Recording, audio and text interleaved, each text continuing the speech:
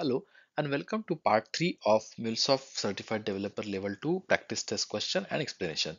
Before I proceed, do subscribe to my channel if you haven't already done so. So the question that we are going to discuss in this video is uh, what is the result if a non-text based payload is uploaded to Anypoint MQ. So it could be something like binary payload if it is uploaded, to MQ and the options are the MQ converts it to a string before sending it to uh, MQ uh, the option B is Anypoint MQ puts the binary file into the queue without conversion. Uh, the option C is Anypoint MQ converts it to JSON object before sending it to the MQ. And option D is Anypoint MQ generates an unsupported format error. Now, out of these four options, let's see the options which are uh, which you can uh, discard straight away or which cannot be applicable to the uh, question in context.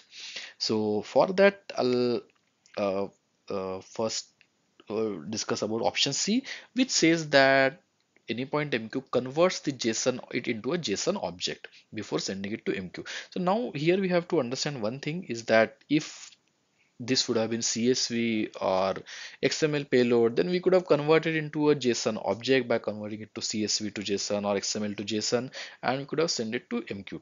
But as the payload itself is a non-text based, hence there is no way of converting it to a JSON objects. So which means in current scenario, this option we can uh, straight away discard.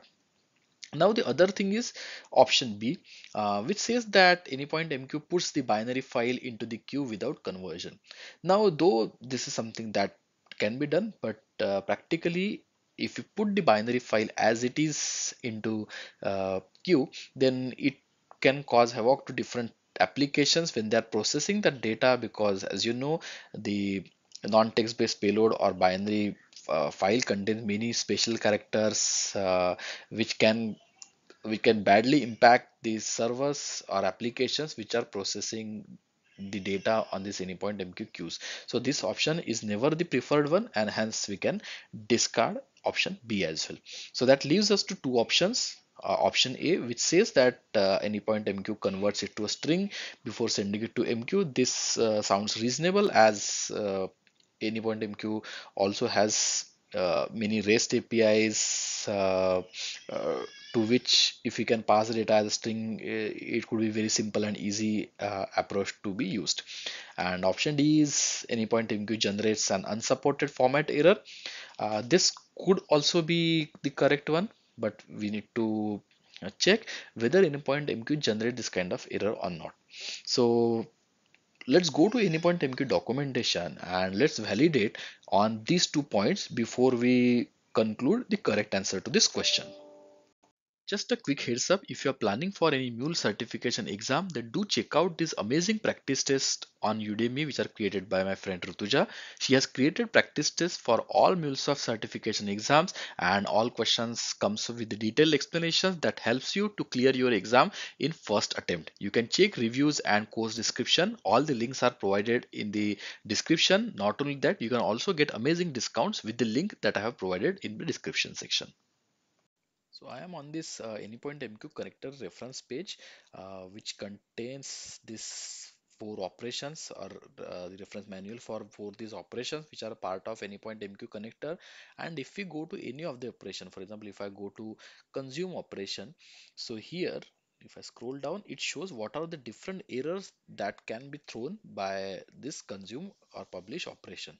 So you will notice here that no way it says that unsupported format error. It says this consuming error connectivity timeout retry exhausted but eh, you will not see anywhere that it mentions that it will send it will uh, send that unsupported format exception.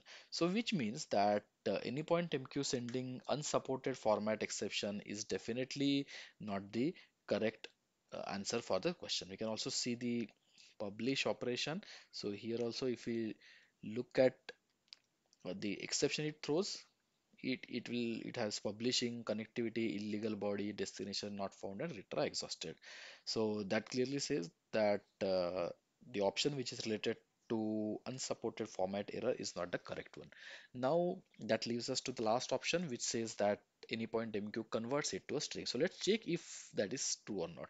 So I am on this AnyPoint MQ overview page and I'll go to FAQ of AnyPoint MQ because that is where we can clearly see it mentioned and we will scroll down and we will come to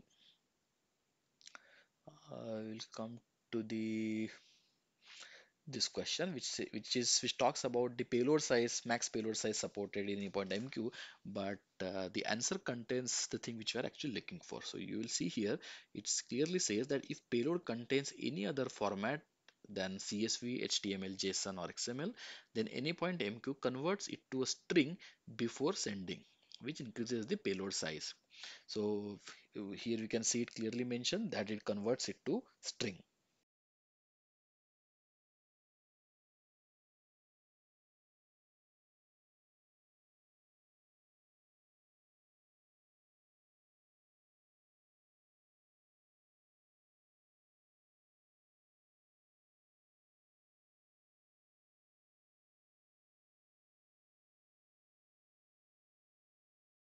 Uh, hence, the correct answer to the question is Anypoint MQ converts it to a string before sending it to the MQ. So that's it in this video. If you find this helpful, then do press the like button. You can share and subscribe and I'll see you in the next part of this series.